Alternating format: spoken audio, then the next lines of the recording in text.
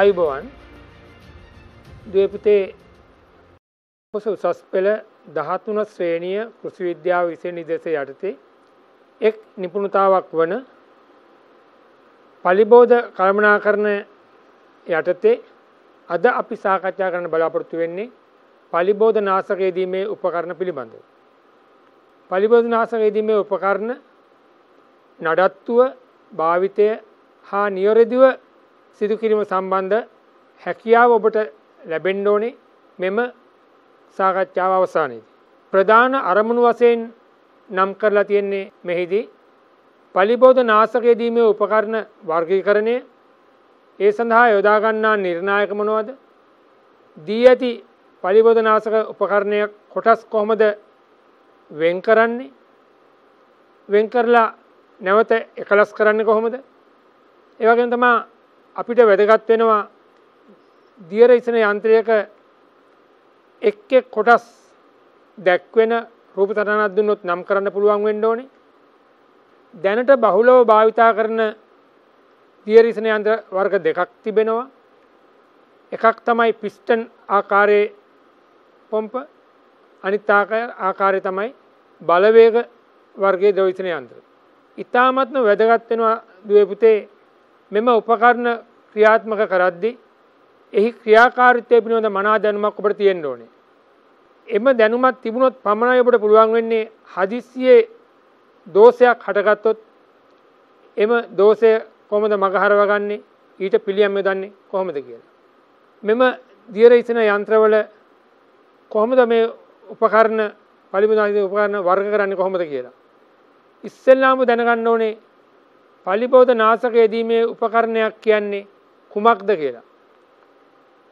සාමාන්‍යයෙන් භෝගයක් ශේත්‍රයේ පිහිටුවට පක්ෂේ කෘමීන්ගෙන් දිලීරවලින් වල් වර්ධනය ඇතුළු සියලු හානි වෙන්න පුළුවන් අපි ඒවට පොදුවේ කියනවා පලිබෝධ කියලා. මෙන්න මේ පලිබෝධ මර්ධනය සඳහා තියෙන විවිධ ක්‍රම අතුරෙන් එක් ක්‍රමයක් තමයි රසායනික භාවිතා කිරීම. අපි සරලව කියනවා දුවේ පුතේ මේවට කෘෂි රසායන කියලා. ඒ සඳහා යෙදීම සඳහා අපි භාවිතා කරන උපකරණ තමයි අපි කියන්නේ පලිබෝධ නාශක යෙදීමේ උපකරණ කියලා. දැන් ඔබට අවබෝධයක් තියෙන්න ඕනේ පලිබෝධ කියන්නේ මොනවද? ඒ සඳහා ඒවා මර්ධනයකින් අපි යොදා ගන්නා එක් ක්‍රමයක් තමයි රසායනික ක්‍රම. එම කෘෂි රසායනික යෙදීම සඳහා අපි භාවිතා කරනවා උපකරණ. මෙන්න මෙතනදි බලන්න මෙම උපකරණ අපිට එක් එක් විදියට වර්ග කරනවා ප්‍රධාන වශයෙන් අපි නම් කරනවා දියර ඉසන යන්ත්‍ර සහ බලවේග යන්ත්‍ර කියලා. ඊට පස්සේ ඔබට අවබෝධ කරගන්න ඕනේ මේ උපකරණ කොහොමද අපි වර්ගීකරණය ගන්න කියලා බලමු. ඔබගේ විෂය නිර්දේශයේ පැහැදිලිව දක්වා තියෙනවා ඔබට මනා අවබෝධයක් තියෙන්න ඕනේ. එම උපකරණ කොහොමද වර්ගීකරණය කරන්න කියලා. ප්‍රධාන නිර්ණායක තුනක් යටතේ මේවා වර්ගීකරණය කරනවා. එකක් තමා රසායන ද්‍රව්‍යයේ භෞතික ස්වභාවය. පිටට පේන විදිය භෞතික ස්වභාවය. ඒක ද්‍රවයක්ද කැටයක් හෝ කුඩුද? එහෙම නැත්නම් දුමක්ද? දෙවනුව අපි වර්ගීකරණය කරනවා. දී ඇති ශේත්‍රය සඳහා යොදා ගන්නා ප්‍රමාණය අනුව දියර ප්‍රමාණය අනුව. තවත් එක් වර්ගීකරණය ක්‍රමයක් තමයි එහි අභ්‍යන්තර ක්‍රියාකාරීත්වය. ඊළඟට අපි බලමු දරුවනි මෙම දියර ඉතන යන්ත්‍ර එහෙනම් කොහොමද අපි රස යොදා ගන්නා රසායනික ද්‍රව්‍යයේ භෞතික ස්වභාවය අනුව වර්ගීකරන්නේ කොහොමද කියලා. අපි යොදා ගන්නවා ද්‍රව දියරයක් විදියට ඒ වගේම කුඩු හෝ කැට ඒ කියන්නේ ඝන ද්‍රව්‍යයක් ලෙස ඒ වගේම දුවල පුතා දන්නවා දැන් මේ දවස්වල අපි කොවිඩ් මර්ධනය කරන්න ඒ වගේම කලින් මැලේරියා මර්ධනය කරන්න අපි දූමායනය භාවිතා කළා. ඩෙන්ගු මර්ධනය සඳහා දූමායන භාවිතා කරනවා. දුමක් විදියට රසායන ද්‍රව්‍ය ශේෂ්ත්‍රයට යොදනවා. ඒ අනුව ඔබ දැන් දැනගන්න ඕනේ ප්‍රධාන ක්‍රම තුනකට අනුව වර්ග කරන රසායන ද්‍රව්‍ය භෞතික ස්වභාවය අනුව ද්‍රව කැට හෝ කුඩු සහ දුම් විසින්.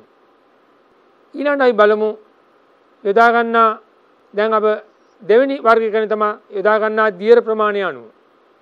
තේරුම් ගන්න දරුවනි මෙහිදී ශේත්‍රයට යොදා ගන්නා දියර ප්‍රමාණය මත වර්ගීකරණය කරද්දී අධි පරිමා අව පරිමා සහ අති අව පරිමා යනුවෙන් වර්ග කරනවා. සාමාන්‍යයෙන් අපි ගෙවල් වල භාවිතා කරන දිය රිසන යන්ත්‍රවල තියෙන්නේ අධි පරිමා. ඔබ නිතර දකින්නේ අධි පරිමා යන්ත්‍ර. මේ සම්බන්ධව ගත්තොත් එහෙම අධි පරිමා යන්ත්‍ර වල සාමාන්‍යයෙන් දිය රිසන යන්ත්‍රවල අවශ්‍ය පරිමාව ලීටර් 400කට වැඩි ප්‍රමාණයක්. ඒ අවශ්‍ය වෙන්නේ හෙක්ටයාර් එකක් සඳහා. ඒ වගේම අවපරිමා යන්ත්‍ර යටතේ අපි ගන්නේ ලීටර 5ත් 400ත් අතර.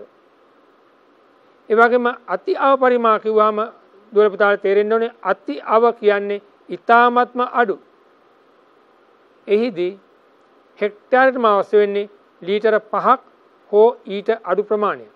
මෙන්න මෙතනදී මම අපිට කලින් පෙන්වුවේ අධි පරිමා යන්ත්‍රවල තවත් ලක්ෂණ කීපයක් අපි බලමු.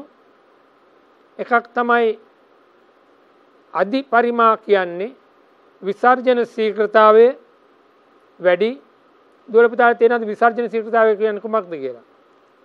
විසර්ජන ශීඝ්‍රතාවය ගැන දරුවනි ඒකීය කාලයකදී අදාළ පලිබෝධනාශක යෙදීමේ උපකරණයෙන් නිකුත් වන දියර ප්‍රමාණය.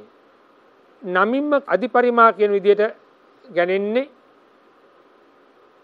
ද්‍රව බින්දුවල විස්කම්බේ වැඩි.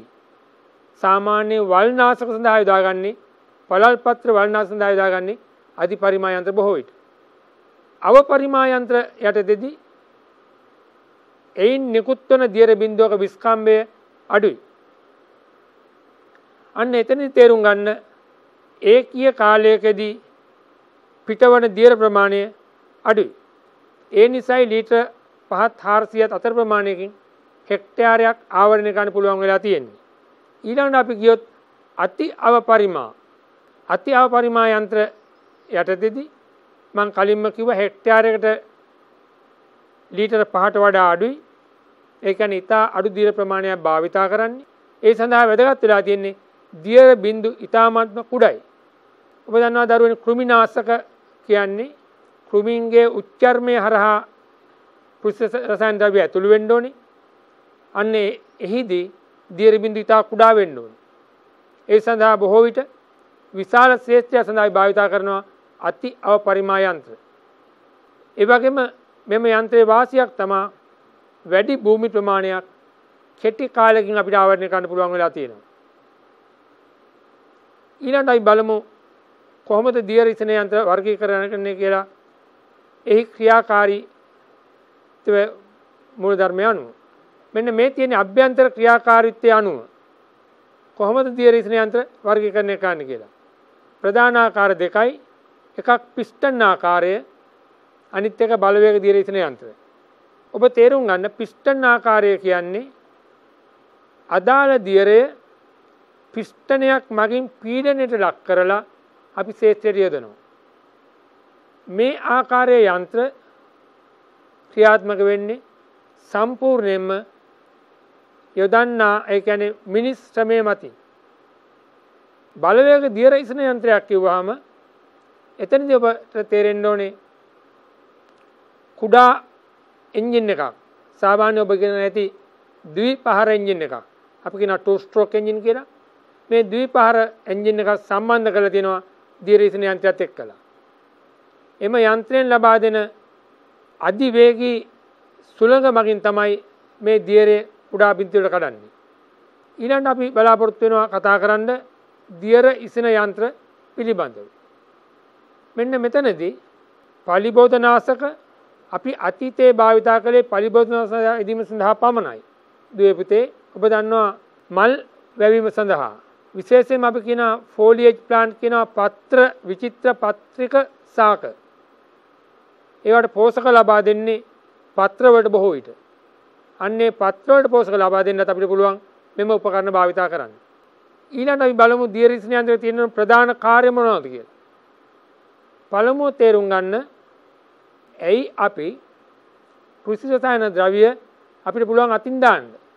අතින් දාන්න නැතුව විශේෂ උපකරණයක් ඇයි භාවිතා කරන්නේ? ඒ සඳහා හේතු වෙන්නේ මොකද්ද? අපිට අවශ්‍යයි ඊතා අඩු පරිමාවකින් ශේත්‍රය ආවරණය කරගන්න. මෙන්න මෙතනදි වෙනවා දියර ටැංකියේ තියෙන දියර ප්‍රමාණය ඊතා කුඩා කොටස් වලට වෙන් කරගන්න. අපි මේකට කියනවා බින්දිතීකරණය කියලා. ඒ කියන්නේ ද්‍රව බිඳුවක් කුඩා බිඳුවකට අපිට කඩා ගන්න අවශ්‍යයි. එහෙම කරන්න නම් බිඳුවක් කුඩා දියරවලට කඩනෝ නම් අපිට වෙනවා මේ දියරේ මත පීඩනයක් ඇති කරන්න. එහෙමනම් දියර ඉසින යන්ත්‍රයක ප්‍රධාන කාර්යයක් තමයි අපිට පුළුවන් වෙන්න ඕනේ අදාළ දියරේ මත පීඩනයක් යොදන්න.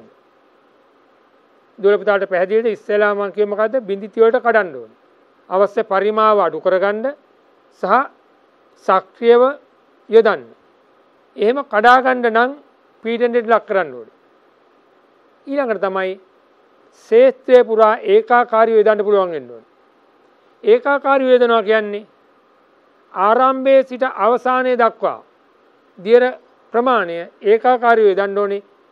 මෙන්න මෙතනදී වැදගත් වෙනවා අපිට පුළුවන් වෙන්න ඕනේ අදාළ උපකරණේ පිටවන ද්‍රව ප්‍රමාණය පාලනය කරගන්න. මෙන්න මේ තුන තමයි අපි බලාපොරොත්තු වෙන්නේ සාමාන්‍යයෙන් දියර ඉසන යන්ත්‍රයක ප්‍රධාන කාර්යයන් තුනක් තියෙනවා.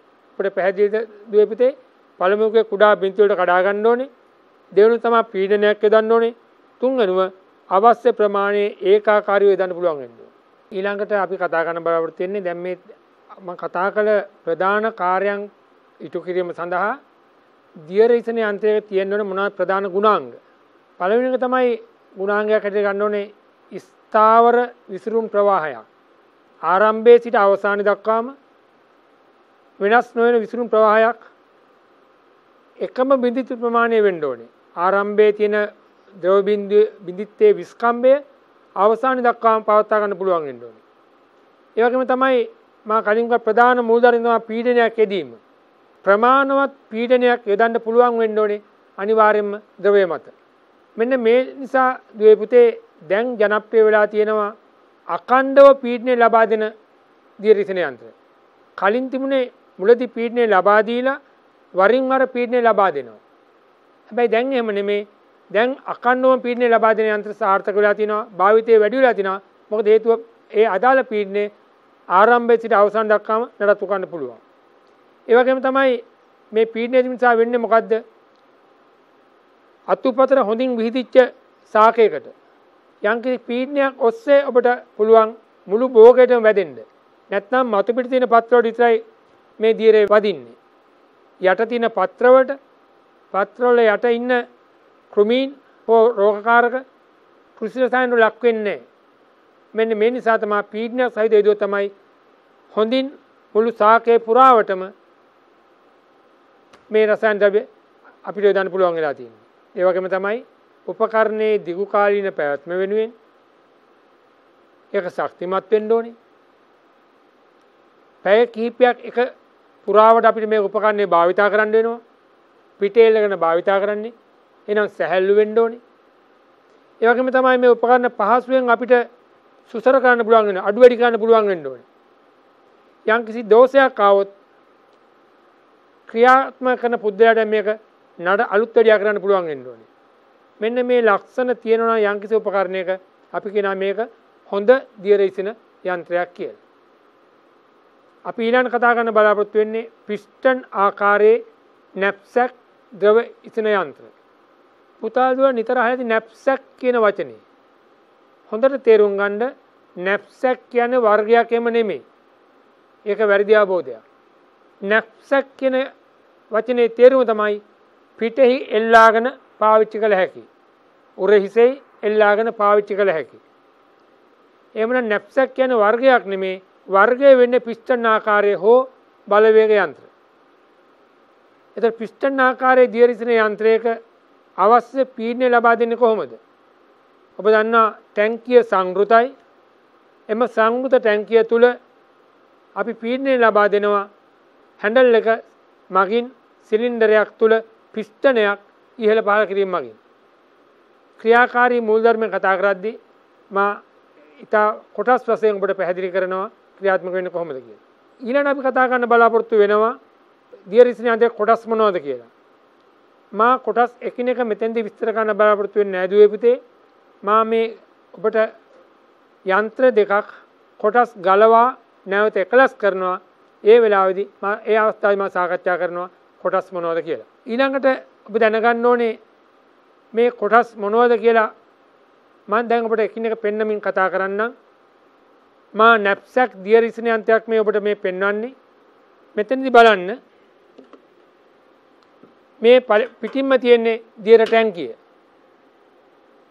මේ ටැංකිය තුළින් මේ තියෙන දියර ටැංකිය විවිධ ප්‍රමාණයේ දියර ටැංකි තියෙනවා ලීටරය දෙක පහ දහය හෝ දාසේ.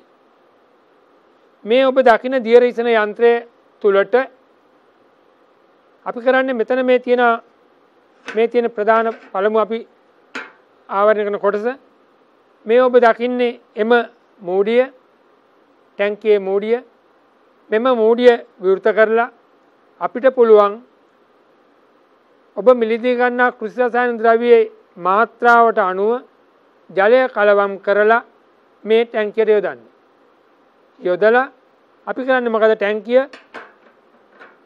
ඉතා හොඳින් කාන්දු වීම වැළැක්වෙනසේ කාන්දු නොවෙන්න අපි තදින් වහන්න ඕනේ.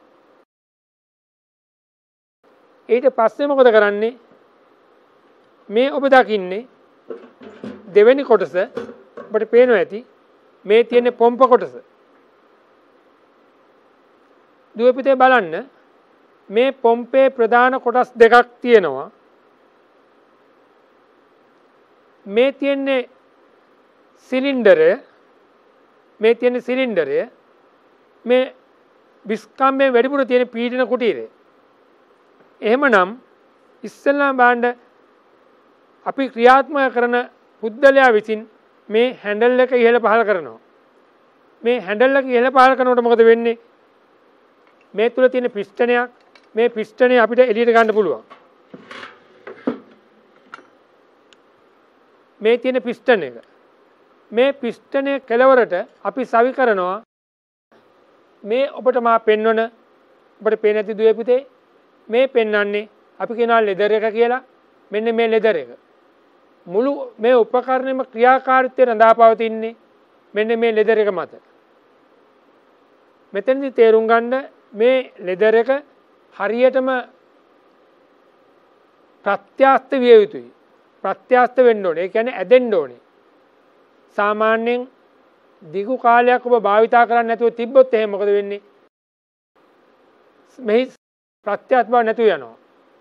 දැන් මොකද කරන්නේ අපි මේ හැම වෙලාවක මේ ඔබට මා පෙන්වන්නේ ඔබට පේනවා ඇති බොහෝ විට අපි ගන්න එඬරු තෙල්. මේ එඬරු තෙල් වල අපි දවස් 3ක් වගේ පොඩි භාජන එඬරු තෙල් ටික දාලා මේක අපි කිල්ලා තියෙනවා. මේ ලෙදර එක කිල්ලා තිබ්බට පස්සේ මෙහි ප්‍රත්‍යස්ත බව ඇති වෙනවා. අපිට ඕන විදිහට නමන්න කරන්න පුළුවන්. මොකද ඒක වැදගත් වෙනවා මේ සිලින්ඩරය තුල පීඩනය කාන්දු නොවී තබා ගැනීමට. ඊට පස්සේ අපිට පුළුවන් මේ ලෙදර එක මේ පිස්සෙන්ට මෙන්න මෙතෙන්ටයි මේක දුවපිතේ මේ තියෙන සවි කිරීම. දැන් මේ තියෙන සවි කළ ඉවරයි. ඊට පස්සේ අපි කරන්නේ ඊට පසුව අපි මේ ඔබට පේනවා ඇති මේ සිලින්ඩරය තුලට මේ පිස්ටන් එක ඇතුල් කරනවා. දැන් ඇතුල් කරලා ඉවරයි. දැන් අපි මොකද කරන්නේ? ඊට පස්සේ මේ හැන්ඩල් එක අපිට පුළුවන් මේ හැන්ඩල් එකට බලාගන්න මේ හැන්ඩල් එක අපිට පුළුවන් මේ විදිහට ඉහළ පහළ කරලා මේ පීඩනය ලක් කරන්න. දැන් එතනදී ක්‍රියාකාරී වෙන විදිය බලා ගන්න මේ මූල ධර්මයේ අපි මේ විදිහට හැන්ඩල් එක ඉහළ කරනකොට ඉහළට දමනකොට පිස්ටන් එක ඉහළට එනවා මේ පිස්ටන් එක ඉහළ එනකොට මේ සිලින්ඩරය තුල පරිමාව වැඩි වෙනවා පීඩනය අඩු වෙනවා. දුවල්පිතාල තේරුණාද? පිස්ටන් එක ඉහළ කරනවා කියන්නේ පරිමාව වැඩි වෙනවා පීඩනය අඩු වෙනවා. දැන් මේ වටේ තියෙන ටැංකියේ තියෙන වායුගෝලීය පීඩනය යටතේ තියෙන මේ ද්‍රවය. එhmenan මේ ද්‍රවය මේ පිස්ටන් එක මේ ලෙදර් එක හරහා මේ ලෙදර් එක හරහා මේ සිලින්ඩර් තුඩ ගලාගෙන එනවා. ඊට පස්සේ අපි නැවත වතාවක් මේ විදිහට මේ අකණ්ඩව මේ හැන්ඩල් එක මගින් පීඩනය ඇති කරද්දී මෙන්න ඔබට හොඳින් බලන්න මෙන්න මෙතනින් තියෙනවා මේ පිස්ටන් එක මේ සිලින්ඩරය හා සම්බන්ධ කරන සම්බන්ධක නාලේ. සම්බන්ධක නාලේ. මෙන්න මෙතන තියෙනවා එක් බෝලයක් ඇතුළෙන් ඒ බෝලේ තමා කපාටේ. ඔබ මේ කපාටෙන් කරන්නේ මොකද්ද? මේ පිස්ටනේ සිලින්ඩරය තුඩ ආපු ද්‍රව පරිමාව පීඩන කුටිය තුළට යවනවා. ඔබ තවදුරටත් මේ පීඩනය ලක් කරද්දී අකණ්ඩව මේ විදියට තවදුරටත් ලක් කරද්දී දැන් මේ පීඩන කුටියට ආපු ද්‍රවය අකණ්ඩව පීඩනයෙන් ලක් කරනවා. තෙරපීමට ලක් කරනවා. මේ තියෙන ඒ පීඩන කුටියේ. ඊළඟට දැන් අකණ්ඩව මේ පීඩනය ලබා දෙනකොට එම පීඩන කුටියෙන් මේ ද්‍රවය ඇතුළු වෙනවා මෙන්න මේ බටේට. මේ තියෙන දියර බටේ. දියර බටේ. මෙන්න මෙතන ඔබට දකින්න පුළුවන් වැදගත්ම දේ තමා මේ මූඩියේ තියෙන පෙරණේ. මොකද හේතුව මේ පෙරණේට අපි අනිවාර්යෙන් භාවිතා කරන්න ඕනේ. මෙතෙන්ට අපි පෙරණයක් භාවිතා කරනවා. මොකද හේතුව අපි භාවිතා කරන ජලයේ තියෙන පුළුවන් අපද්‍රව්‍ය. මේ අපද්‍රව්‍ය ගියොත් අවසානයේ අපේ අවසාන කොටස වෙන නොසල් එක එනද නැසින්නේ මේක හිර වෙනවා. මෙන්න මේක වළක්වන්න තමයි මේකට අපි පෙනරයක් භාවිතා කරන්නේ. මා ඔබට පැහැදිලි කළා මේ හැන්ඩ්ලේ කරන කාර්යය හැන්ඩ්ලෙන් කරන පීඩනය ඇති කරන එක. දැන් මේ පීඩන කුටීරෙන් මෙන්න මේ ද්‍රවය ඇතුළු වෙනවා මේ හෝස් එකට. අපි මේකට කියනවා දියර නලය කියලා. එහෙනම් දියර නලයේ කාර්යය තමයි පීඩන කුටීරයේ සිට මෙන්න මේ ට්‍රිගර් එක දක්වා ට්‍රිගර් කපාටය දක්වා මේ ද්‍රවය රැගෙන එන්නේ. ඊළඟට බාණ්ඩ අපිට අවශ්‍යයි දියර පාලනය කරන්න. මේ ටැංකියෙන් පිටවන දියර ප්‍රමාණය පාලනය කරන්න. ඒ සඳහා අපට පේනවා මෙන්න මෙතන බාණ්ඩ මේ තියෙන්නේ අපේ අපි කෙන යාමක එම නැත්නම් ට්‍රිගර් එක. මේක අපිට සම්පූර්ණයෙන් වහන්න පුළුවන්. අංශක 90ක් තියදී වැහිලා මේකට සමාන්තරව දිනකොට සම්පූර්ණයෙන් මැරිලා.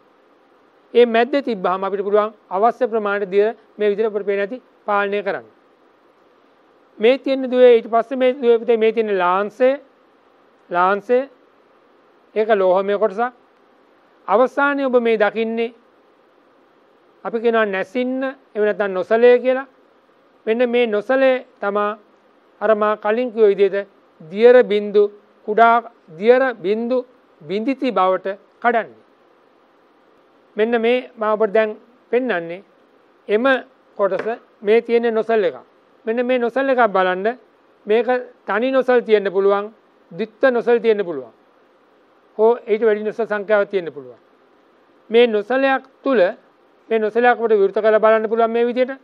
විවෘත කරලා බලපස්සේ මේක ඇතුලේ තියෙන ප්‍රධාන කොටස් කීපයක්. මේ කොටස් වලින් තමයි මේ දිය බිඳු කුඩා කොටස් වලට කඩන්නේ. එතකොට මේ හොඳට තේරුම් ගන්න අදාළ නොසලේ තෝරා ගැනීම ඉතාමත්ම වැදගත් දුවේ පුතේ. වල්නාශක සඳහා භාවිතා කරන්නේ දියර බිඳු විස්කම්බේ වැඩි ප්‍රමා විදියට පිට වෙන නොසලයක්. ඒ වගේම තමයි කෘමිනා සඳහා භාවිතා කරන්නේ දියර බිඳු ඉතා සියුම් විදියට භාවිතා කරන උපකරණ. දැන් ඔබට මා පැහැදිලි කළා පිස්ටන් ආකාරයේ දියර ඉසන යන්ත්‍රයක ප්‍රධාන කොටස් ටික. එම කොටස් මා ඔබට නැවත මතක් කළොත් අපි පළමුව කතා කළේ සිලින්ඩරය ඒ තුළ තියෙනවා පිස්ටන් එක පිස්ටන එකකට සම්බන්ධ කර තිනවා හැඩල් එක. එම සිලින්ඩර් සම්බන්ධ කර තිනවා පීඩන කුටීරේ මෙම සිලින්ඩරෙන් ද්‍රවය පාලනය කාණ්ඩ කපාට දෙකක් තියෙනවා ඇතුළු මෝසා පිටමෝ කිය මේ තියෙන පීඩන කුටීරේ පීඩන කුටීරයෙන් ද්‍රවය ඇතුළු වෙනවා මේ ඔබ දකින දියර නලයට.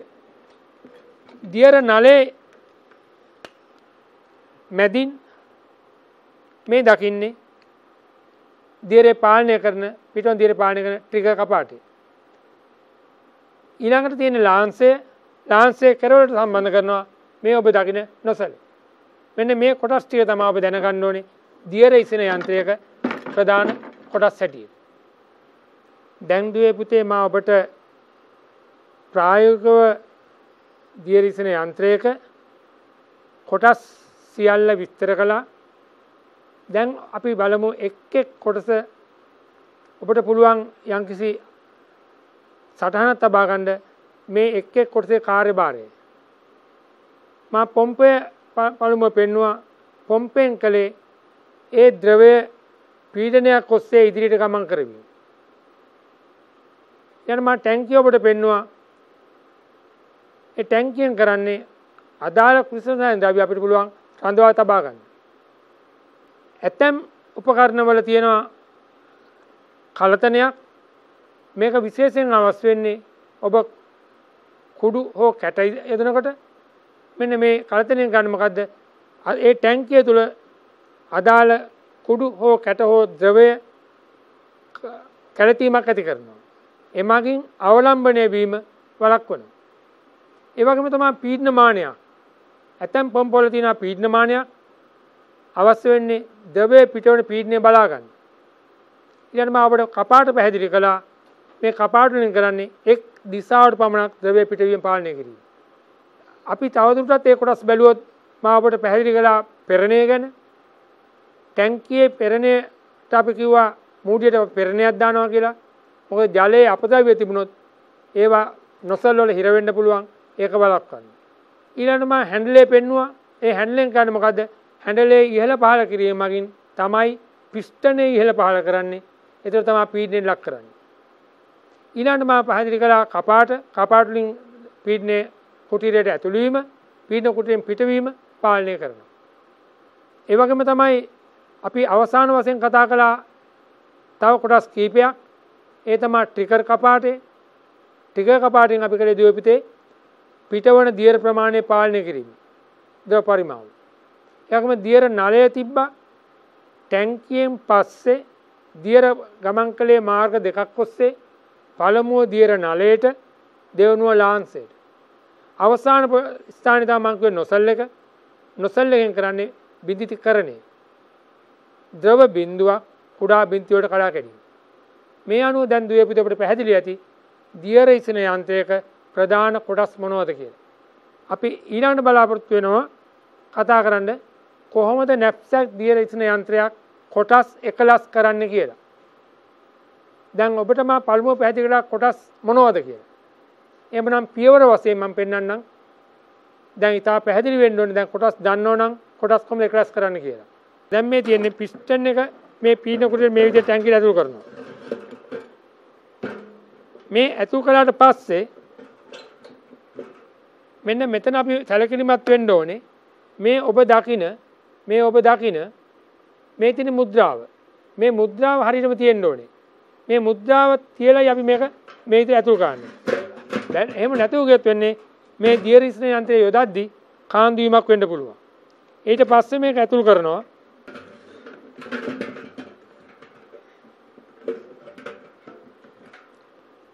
ඔබ මේ දකිනවා ප්‍රධාන ඇනමුරුච්චි හතර මේ දකින ඇනමුරුච්චි හතර මෙන්න මේ හතර මගින් මේක සම්බන්ධ කරනවා. හොඳින් මේක අතින් තද කරන්න පුළුවන්. යතුරු මොකවත් අවශ්‍ය වෙන්නේ සමනල ආකාරයේ ඇන තමා තියෙන ඉඳ අතින් සවි කරන්න පුළුවන්. ඊට පස්සේ මොකද කරන්නේ? මේ පීඩන කුටීරයට අපි සම්බන්ධ කරනවා. මා පෙන්නපු දියර නලේ ඊට පස්සේ ලාන්සේ ඒ මැද්දට සම්බන්ධ වෙන ටික කපාටි. අපි ඊළඟට දුවේපිතේ බලාපොරොත්තු වෙනවා කතා කරන්න පිස්ටන් ආකාරයේ නැප්සැක් දියරිසින යන්ත්‍රයක ක්‍රියාකාරීත්වය. මේ දක්වා ඔබ දන්නවා දියරිසින යන්ත්‍රයේ කොටස් මොනවද සහ එකලස් කරන පියවර මොනවද කියලා. එහෙමනම් දැන් අපිට අවසාන වශයෙන් ඔබ දැනගන්න ඕනේ මෙහි ක්‍රියාකාරීත්වය කොහොමද වෙන්නේ කියලා. ඔබ ටැංකියට දියර දැම්මට පස්සේ නොසල්ලගෙන් දියර පිටන අවස්ථා දක්වා මේක ක්‍රියාත්මක වෙන්නේ කොහොමද කියලා. එහිදී වැදගත් වෙනවා ඉස්සෙල්ලාම අපිට කරන්න මොකද්ද? ටැංකියට අපි දානවා අදාළ මාත්‍රාව. දාලා මූඩිය හොඳින් වහනවා. මූඩිය හොඳින් වහලි වෙලා හැන්ඩල් එකෙන් පීඩනය ඇති කරනවා. පිස්ටන් එක හරහා පීඩන කුටියට ද්‍රවය ඇතුළු වෙනවා. හැන්ඩලේ අඛණ්ඩව ක්‍රියාත්මක කරද්දී පීඩන කුටීරය හරහා මේ ද්‍රාවණය පීඩන කුටීරය ඇතුළත් වෙනවා. එහෙම ඇතුළත් වෙච්ච ද්‍රාවණය ඊළඟට බලන්න මොකද වෙන්නේ කියලා පීඩන කුටීරයේ කපාට තුලින් ලාන්සයට ඇතුළත් වෙනවා ද්‍රව නලය හරහා. ඒ මැද්ද ට්‍රිගර් කපාටයක් දාලා තියෙනවා මේ ඔබ දකින. එතෙන්දි මොකද වෙන්නේ? මේ ගමන් කරන ද්‍රව පරිමාව පාලනය කරනවා. අවසානයේ මා පෙන්නපු මේ නොසලය මගින් ද්‍රව බින්දු බින්ති කරන වෙලා ශ්‍රේෂ්ඨ ලබා දෙනවා. එහෙමනම් ඔබට ඉතා පැහැදිලි ඇති මෙම උපකරණයේ ක්‍රියාකාරීත්වය වෙන්නේ ටැංකිය තුළ ප්‍රධාන ජලය දැමීම, ද්‍රවය දැමීම, දෙවුණු පියවර වෙන්නේ පීඩන පිස්ටනයට ඇතුළත් වීම, තුන්වෙනි පියවර පීඩන කුටීරයට ඇතුළත් වීම, හතරවෙනි පියවර දියර නලයට ඇතුළත් වීම, පස්වෙනි පියවර ට්‍රිගර් එක හරහා ලාන්සේට ඇතුළත්වීම අවසාන හයවෙනි පියවර නොසල ඇතුළත්වීම. එමනම් දියර ඉසින යන්ත්‍රයක ක්‍රියාකාරීත්වය වෙන්නේ පියවර හයක් ඔස්සේ. මේ දක්වා දුවපුද අපි කතා කළේ පිස්ටන් ආකාරයේ නැප්සැත් දියර යන්ත්‍රයක ක්‍රියාකාරීත්වය. මා මුළුදෙම කිව්ව ඔබට ආකාර දෙකක් තියෙනවා කියලා අනිත් ආකාරය තමයි බලවේග දියරිසන යන්ත්‍රය. මේ ඔබ දකින්නේ නැප්සැක් බලවේග ආකාරයේ දියරිසන යන්ත්‍රය. මෙහිදී අප දැනගන්න ඕනේ මෙම බලවේග අර කලින් වගේම නැප්සැක් බලවේග ආකාරයේ දියරිසන යන්ත්‍රයක කොටස් මොනවද ක්‍රියාකාරී මුල්ධර්මය මොකක්ද කියලා. අපි ඉස්සෙල්ලාම කොටස් මොනවද කියලා මෙම බලවේග යන්ත්‍රයක. මේ ඔබ දකින්නේ තිරේ පෙන්වන්නේ එම උපකරණය. පළමුව ඔබ දළ සටහනක් ලබා ගන්න නම් කළ රූප සටහන මගින් මා පෙන්ලා තිනවා ඔබට මොනවද කොටස් කියලා. පංකා කුටීරයක් තියෙනවා. ඔබ දන්නවා පංකාවක් කියන්නේ ෆෑන් එකක්. එහෙනම් ෆෑන් එකකින් අපි හුළඟ ලබා ගන්නවා. එමනම් ෆෑන් එක කරකවන්න අවශ්‍යයි බලයක්. ඒ බලය තමයි කුඩා එන්ජින් එක. දෙවෙනුව තමයි අපි දියර ටැංකියක් තියෙනවා. මේ දියර ටැංකියට අපි දියර දමනවා. ඒ වගේම තමා මේ ඔබ පේන ඇති පංකාවෙන් සුළඟ හොඳට බලන්න මේ පංකා කුටීරේ විවෘත වීම දෙකක් තියෙනවා. ලොකු කටක් තියෙනවා කුඩා විවරයක් තියෙනවා. කුඩා විවරයේ විවෘත වෙන්නේ දියර තියෙන ටැංකියට. එමගින් කරන කැළතීම ඇති කිරීම. විශාල විවෘත විවෘත වීමත් අපි කියන සොඬ නලය කියලා එමගින් කරන්නේ වැඩි පීඩනය කළ වායු පරිමාවක් ප්‍රවාහයක් ඉදිරිට ගෙන යෑම. ඊළඟට බලන්න දියරිසන යන්ත්‍රයේ මූඩියක් තියෙන අර වගේම ඊට පස්සේ පෙරණයක් තියෙනවා මා කලින් කතා කළා ඒ කාර්ය මොකද්ද කියලා. ඊයගම දියර ටැංකියක් තියෙනවා. දියර නලයක් තියෙනවා. දැන් ඔබ නැප්සැක් ආකාරයේ කොටස් යන්ත්‍රය බලපු නිසා මේ කොටස් ඒ වගේමයි. අවසානයේ තියෙන සොඬ නලය මේ සොඬ නලයෙන් තමයි ප්‍රධාන වායු ප්‍රවාහය ඉදිරියට ගමන් කරන්නේ. ඊට පස්සේ බලන්න හැන්ඩලයක් තියෙනවා. අවසානයේ නොසලයක් තියෙනවා. මේ ඔබ දැක්කේ බලවේග දියරිසින යන්ත්‍රයේ ප්‍රධාන කොටස්. දැන් දුවේ පුතේ අපි ප්‍රායෝගිකව බලමු මෙහි ක්‍රියාත්මක වීමට කලින් මේ උපකරණයෙන් අපි බලන්න පුළුවන් මේ කොටස් ඔබට පුළුවන් වෙන්න ඕනේ එක් එක් කොටස් හොඳින් හඳුනා ගන්න. හොඳයි මේ තමයි ඔබ දකින්නේ මෙම දියර ටැංකියේ මූඩිය. මේ මූඩිය වැදගත්ම කොටසක් වෙනවා මේ ඔබ දකින මුද්‍රාව. මේ මුද්‍රාව නිවැරදිව සයි කරන්න ඕනේ. සවි නොකළොත් කාන්දුවීම ලක් වෙනවා. ඒ වගේම තමයි මේ ඔබ දකින්නේ පෙනේරය. මේ පෙරණය මගින් තමයි අර කලින් කිව්වා වගේ ජලයේ තියෙන අපද්‍රව්‍ය ඇතුළට යාම වළක්වන්නේ.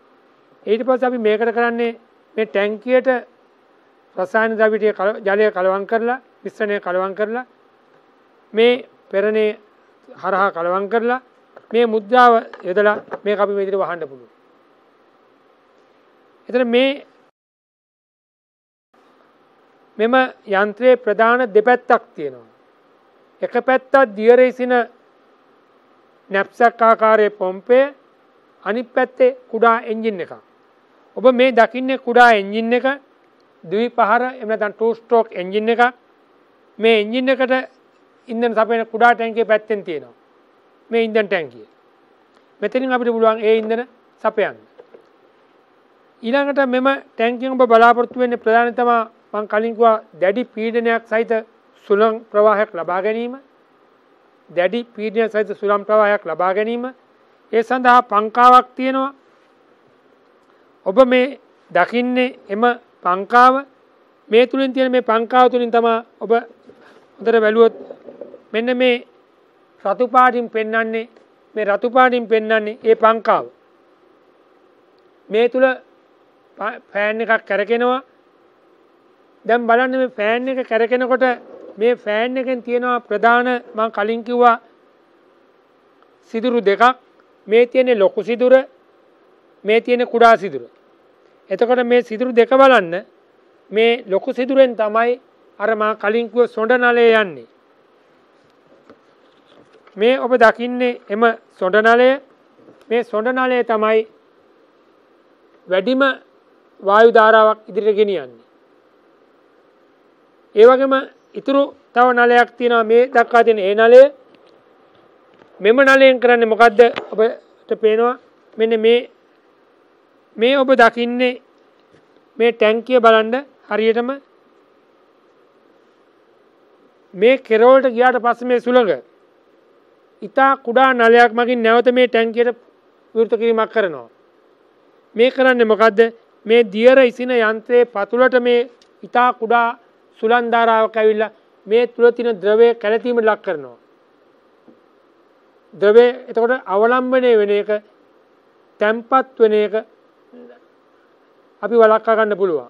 නිතරම අපිට කැළතීමට ලක් කරලා ඒකාකාරී ජලය සහ රසායන ද්‍රව්‍ය අතර අනුපාතය පවත්වා ගන්න පුළුවන්.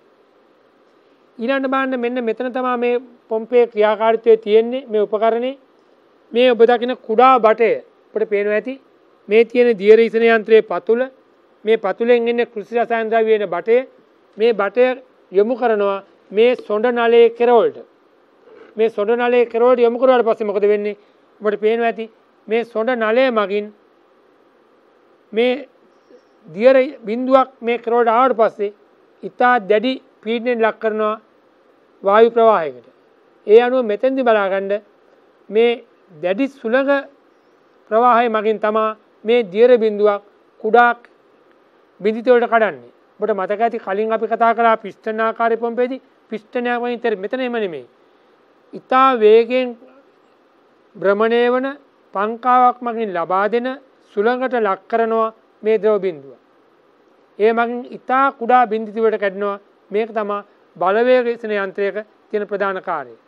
මට පොඩ්ඩක් ඔබට පැහැදිලි කරන්න ඉතින් නැවත වතාවකට මතක නම් මා කතා කළේ මොකද්ද? ඉස්සෙල්ලාම ටැංකිය මේ ටැංකිය තමයි රසායන ද්‍රව්‍ය තියෙන්නේ. ඊට පස්සේ අපි මේක පීඩනයට ලක් කරනවා. පීඩනය සඳහා සුළං අවශ්‍යයි. සුළං ලබා ගන්න කොහෙන්ද? මේ පැත්තේ තියෙනවා එන්ජින් එකක්. එන්ජින් එකෙන් මම පෙන්නුවා ඔබට පංකාවක්. පංකාවෙන් සුළං ලබා දෙනවා. හැබැයි පංකාවේ මා කිව්ව සිදුරු දෙකක් තියෙනවා. ලොකු සිදුරක් සහ කුඩා සිදුරක්. ලොකු සිදුරෙන් තමා මේ සොඬ නලයට ලබා දෙන්නේ. කුඩා සිදුරෙන් ලබා දෙන්නේ මේ දියර ඉසන ටැංකියේ පතුලට ඉතා කුඩා වායු ධාරාවක්. කුඩා වායු ධාරාවෙන් කරන්නේ ටැංකිය තුල තියෙන රසායන ද්‍රව්‍ය කැළතීමට ලක් කරනවා අඛණ්ඩව ඒ මගින් අවලම්බනය වීම බලක් කරනවා. ඒ වගේම තමයි මෙම ලොකු නලය මගින් ගෙන වාතය අධික පීඩනයක් වෙලා තියෙන්නේ. එහි කෙරවලට තමයි දියරීසන යන්ත්‍රයෙන් ද්‍රව බිඳු වෙන්නේ. මෙන්න මෙතන කෙනෙක් ඇහුවොත් දුවේ පුතේ පාලනය කරන ක්‍රම දෙකයි. එකක් තමයි මේ වාතයේ ධාරාවේ ප්‍රවේගය. මේක ක්‍රියාත්මක වෙන්නේ එන්ජින් එකක් තුලින් නම් අපිට පුළුවන් සාමාන්‍ය එන්ජින් ගැන ඔබට අවබෝධයක් ඇති. එන්ජින් එක තියෙන අපි කියනවා තොරණය තොරණ ලීවරය කියලා ඇක්සලරේටරය කියනවා තොරණ ලීවරය මගින් ඇන්ජින් එකේ වේගය පාලනය කරන්න පුළුවන්. ඒ මගුව ඒ මගින් එන්ජින් එක කැරකෙන වේගය අනුව පංකාවේ වේගය ක්‍රියාත්මක වෙනවා. දෙවනුව තමයි ඔබ මේ දකින්නේ දියර ඉසින මේ ටැංකියෙන් දියර පිටවන් ප්‍රමාණය පාලන කරන ට්‍රිගර් කපාටේ. මේ ටිකර් කපාටයෙන් පුළුවන් එක් කාලයක් තුළ පිටවන ද්‍රව පරිමාව පාලනය කරන්න. එමනම් තේරුම් ගන්න ආය නැවතතාකප තේරුම් ගන්න ප්‍රධාන පා සුසර කිරීම් දෙකයි එකක් තමා එන්ජින්න එක වේගේ පාලනය කිරීම දෙවනි තමා දියරේ පරිමාව පාලනය කිරීම. මා හිතනා දුවපිතේ දැන් ඔබට හොඳ අවබෝධයක් ලැබෙන්ට ඇති මෙම උපකර යන්ත්‍රය බලවේග දියන යන්ත්‍රයක සහ නැප්සක් ඉසන යන්ත්‍රයක ක්‍රියාකාරිත්වය පිළිබඳව.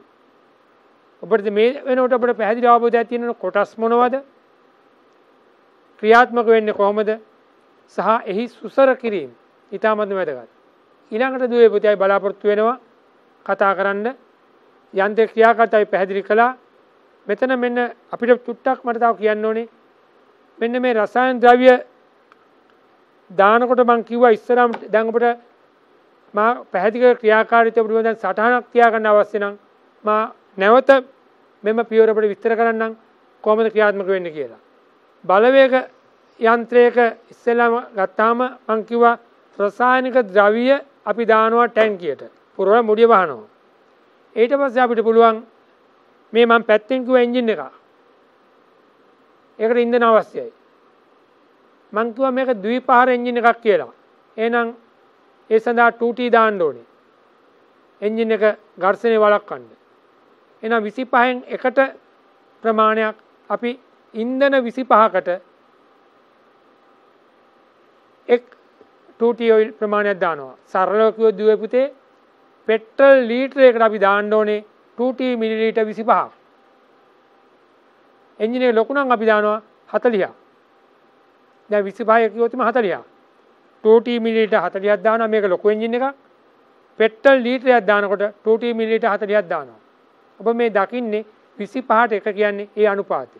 ඊළඟ අපිට පුළුවන් එන්ජින් එක පණ ගන්නන්න මෙතන තියෙන පොඩි ලීවරයක් ඒ මගින් පණ ගන්නන්න පුළුවන්. එන්ජින් එක පණ ගන්න පස්සේ අපි මොකද කරන්නේ? මම කලින් කිව්වා පංකාවක් මගින් සුලන් ධාරාව නිපද වෙනවා. එම ධාරාව සොඬ නලයකට ගමන් කරනවා. ඒ වගේම කුඩා කොටසක් මේ ද්‍රව ටැංකියට යනවා. ඊළඟට මොකද වෙන්නේ මෙතනදී ඔබ දැනගන්න ඕනේ මේ සුලන් ධාරාවෙන් වෙන්නේ මොකද කියලා මම පැහැදිලි කළා.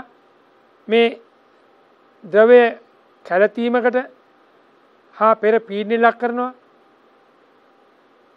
එමගින් අවලම්බනීම වළක්වනවා. ඒ වගේම තමයි මා කිව්වා සුසර කිරීම දෙකයි. එකක් තමයි තොරණ ලීටරයක් තියෙනවා. තොරණ ලීටරේ මගින් තමයි එන්ජින් එකේ වේගය අඩු වැඩි කරගන්නේ. ඒ මගින් පිටවන සුළඟේ වේගය වෙනස් කරනවා. ඔබට මතකද මා කිව්ව දෙවන සුසර කිරීම මොකක්ද කියලා? දෙවන සුසර කිරීම තමයි දුවේ පුතේ මේ තෙල් ටැංකියෙන් පිටවන කෘෂි රසායන ද්‍රව්‍ය පාලනය කරන්න පුළුවන්. ඒ පංකාවේ නිපද සුළං ධාරාව අඩු වැඩි වෙනවා. ඊට පස්සේ අපි මොකද අපි කරන්නේ මොකද්ද?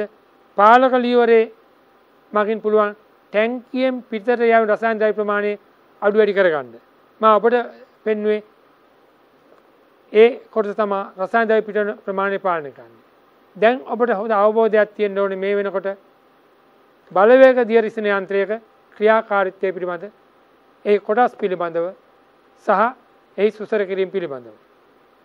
මේ ඔබ දකින්නේ එම සුසර කිරීම් ආකාර දෙකක් තියෙනවා. පළමු එක තමයි මම කිව්වා තොරණ ලීවරය. දෙවෙනි එක තමයි පාලක ලීවරය. දැන් දුවේ පුතේ අපි මේ දක්වා කතා කළා දියරිසන යන්ත්‍ර, බලවේගිසන යන්ත්‍ර, එය කොටස් එකලස් කිරීම ක්‍රියාකාරීත්වය කළ ඉවරයි.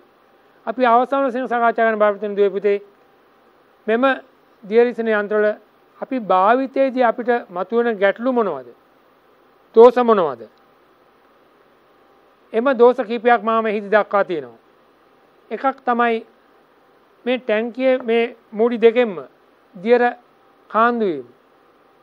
හදිස්සිය හරි කාන්දු වුණොත් දුවේ පුතේ මේ දියරහිතන යන්ත්‍ර භාවිතා කන්නේ ශරීරයට අහිතකර රසායනික ද්‍රවිය. ජලය එහෙම නෙමේ. කාන්දුනා ගැන මං කිව්වා මේක නැප්සැක් කියලා. නැප්සැක් කියන්නේ මොකද්ද? මේක පිටේල්ලන් භාවිතා කරන්නේ. එහෙනම් ඔහුගේ ශරීරය පුරා තැවරෙනවා මේ රසායන ද්‍රව්‍ය. ඒක සෞඛ්‍යයට හානි කරයි. ඒ නිසා හරියටම මේ මූඩි දෙකේම මුද්‍රාව තියනවා කියලා බලන්න ඕනේ. ඒ නැත්තම් කාන්දීමක් වෙනවා.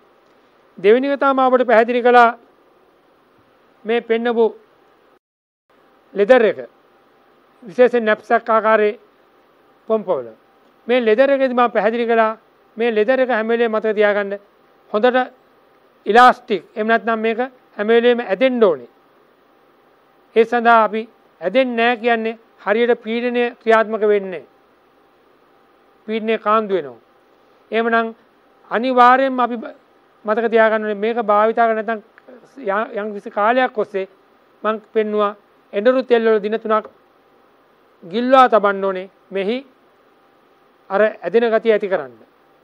ඊළඟට මම අවසානයෙන් කතා තව දෝෂයක් තමයි මේ නොසල් එක.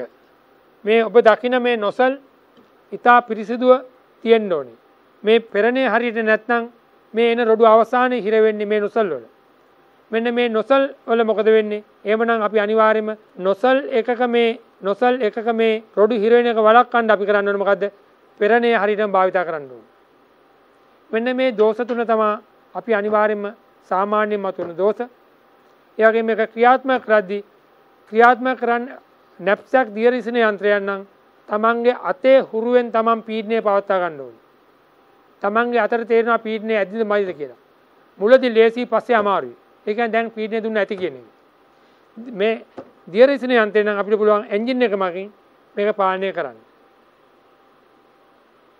ඊළඟට අපි දුවේ පුතේ අපි අද කතා කළා අවසානයේ සාරාංශ කළොත් මොනවද අපි කළේ කියලා. පරිබෝධනාශකදී උපකරණ වර්ගීකරණය කළ ක්‍රම තුනකට අපි කොටස් 11 කළා. මා කොටස් නම් කරුවා. ඒ වගේම මම කොටස් නම් කළාට පස්සේ ඒවායේ ක්‍රියාකාරීත්වය පැහැදිලි කළා. අපි ඒ වගේම 11 කළා කොටස් ටික 11 කරලා පෙන්නවා. අවසානයේ එම පලිබෝධ නාශක උපකරණවල අපිට පුළුවන් දෝෂ මම පෙන්වුවා ප්‍රධාන දෝෂ තුනක්. ඒ දෝෂ කොහොමද මගවරන්නේ කතා කළා. එහෙමනම් දැන් දුවල පුතාලට හොඳ අවබෝධයක් තියෙන්න ඕනේ. අපි කෘෂි රසායන ද්‍රව්‍ය යොදන්න භාවිතා කරන දියරිසින යන්ත්‍ර ප්‍රධාන ආකාර දෙකයි. අපි කියනවා නැප්සැක් දියරිසින යන්ත්‍රය නැප්සැක් කියන්නේ පිටේ එල්ලගෙන භාවිතා කරනවා කියන එක. එකක් තමයි පිස්ටන් ආකාරයේ දෙවෙනි එක තමයි අපි භාවිතා කරනවා බලවේග යන්ත්‍ර. නැප්සැක් ආකාරයේ තනිකරම ක්‍රියාත්මක වෙන මිනිස් ශ්‍රමය මත පීඩන ලබා දෙන තමන්ගේ අතින්. හැබැයි බලවේග යන්ත්‍රයක් බල ලබා දෙන්නේ එන්ජින් එකක් තුලින්. ඒ වගේම මම ප්‍රධාන කොටස් කතා කළා. ඒ ඒ කොටස් වල කාර්ය කතා කළා. අවසාන වශයෙන් ඒවැ ක්‍රියාකාරීත්වය දැනගන්න ඕනේ සහ දෝෂ දැනගන්න ඕනේ. මෙහිදී ඔබට මෙම සම්බන්ධව ඔබගේ විෂය නිර්දේශයේ අදාළ සියලුම නිපුණතාවයන් අපි මේ වෙනකොට සම්පූර්ණ කරලා තියෙනවා. ඔබට මා හිතනවා හොඳ අවබෝධයක් මේ සම්බන්ධව ලැබෙන්නේ නැති කියලා. ඒ වගේම මෙම සම්බන්ධව ඔබට නැවත නැවත මේවා අධ්‍යයනය කරලා බලන්න අවශ්‍ය නම් YouTube එකේ තියෙනවා channel NIE YouTube එකේ තියෙනවා channel NIE ඔබට පුළුවන් නැවත නැවත ක්‍රියාත්මක කරලා ඔබගේ ගැටලු නිරාකරණය කරගන්න. එහෙනම් දුවල පුතාලට මෙම කාල සීමාව තුළ සාවධානව ඇහුම්කන් දීලා ප්‍රායෝගික කොටස් නරඹලා යම් දැනුමක් ලබා ගන්න ඇති මේ දැනුම ඔබේ අනාගතය වෙනුවෙන් විශේෂ නිර්දේශ සඳහා පමණක් නොවේ ඔබගේ ප්‍රායෝගික භාවිත සඳහා වැදගත් වෙයි කියලා මම බලාපොරොත්තු වෙනවා. ඒ නිසා ඔබට සියලු දෙනාට ගොඩක් ස්තුතියි.